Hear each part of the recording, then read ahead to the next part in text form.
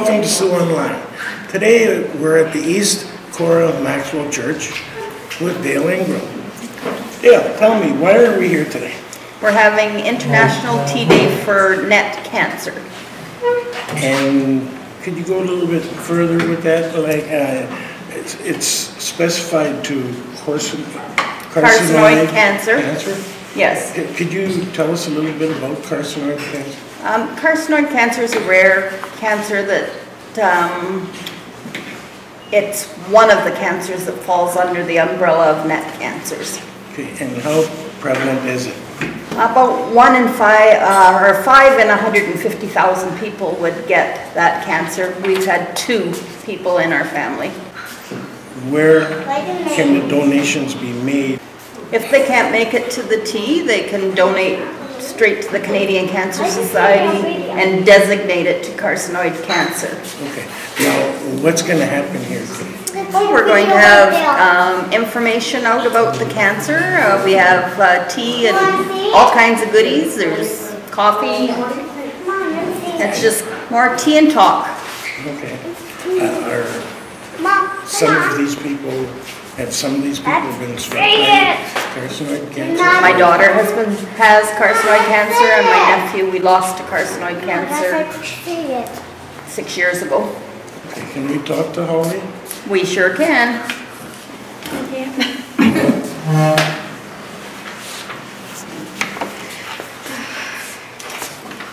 Hi, Holly. Uh, When did you first, how old were you when you first noticed there was a, a change in your body? I was 36. 36? And, and what symptoms did you, did you have? I had a quick onset of pain uh, high in my abdomen, which was totally different than any pain I've had before. And it just came on like? It did, out of nowhere. And uh, how easy was it to get work there, if I may, I might use that uh, term, at the hospital? When, Uh, we had a little bit of trouble. The doctor thought that maybe it was just uh, a small bowel blockage and wanted to send me home on meds.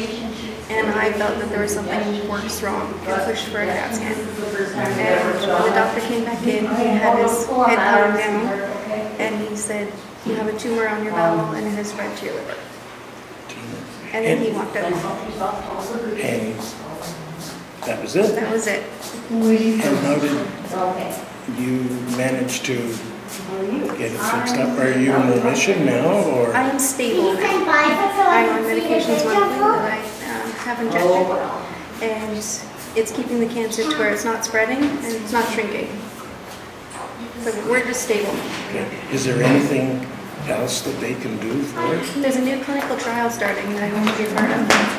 Um, it takes medication, injects it right into the tumor, and hopefully it will explode the tumor. But it needs funding.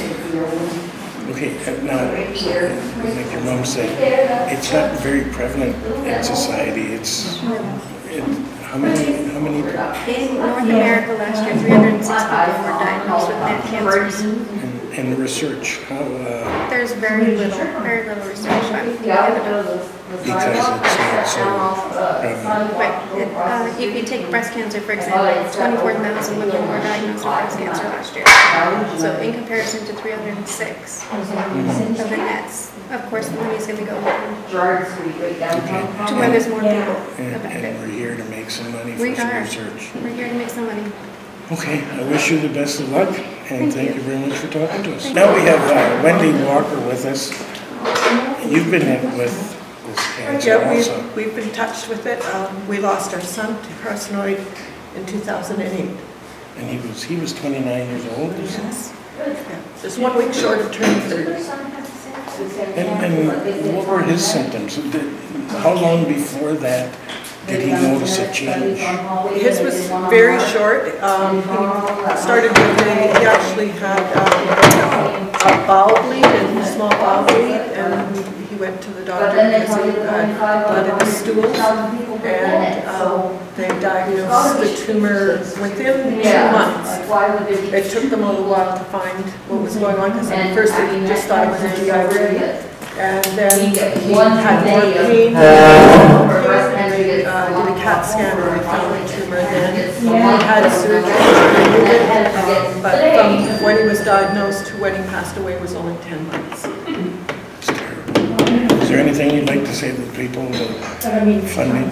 Um, just that it's such a rare, uh, cancer that, uh, the research doesn't get done and research, money goes to all the big cancers, the common ones that uh, we're all aware of. But there are a lot of lesser cancers that need the research as well, so that, uh, This is this the, I'm the the doctor. cures can be found, and uh, people don't have to suffer. mommy. We're really lucky that in the five years from when Mark was diagnosed to Holly was diagnosed, there's been uh, a good amount of um, progress made, and Holly has been done really well for two years, so that's a blessing. Okay, thank you very much. All right. I'm sorry for your loss. Thank you, Mike. It's Mike Caruso for Sioux Online. Thank you.